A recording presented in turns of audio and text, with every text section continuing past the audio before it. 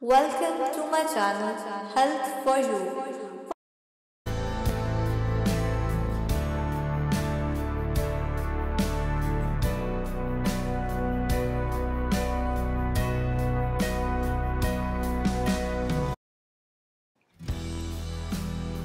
What are main causes lymphoma?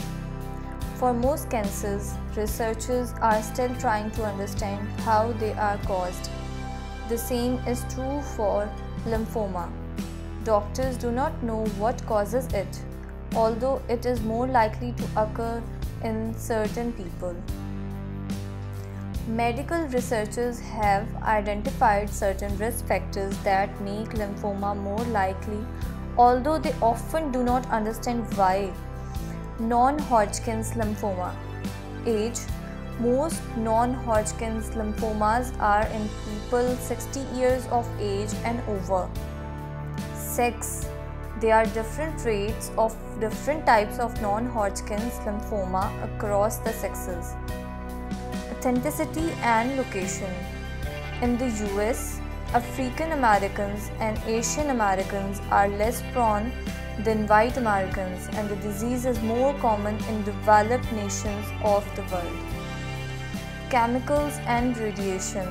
Some chemicals used in agriculture have been linked as has nuclear radiation exposure.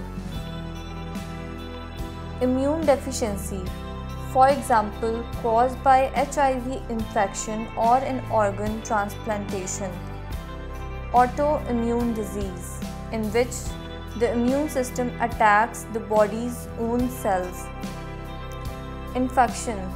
Certain viral and bacterial infections increase the risk.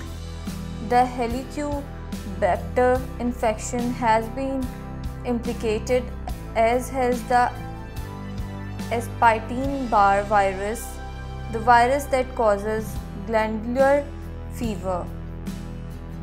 Hodgkin's lymphoma, infectious mononucleosis infection which Epstein-Barr virus. Age Two specific groups are most effective. Typically, people in their 20s and people over the age of 55 years. Sex slightly more common in men.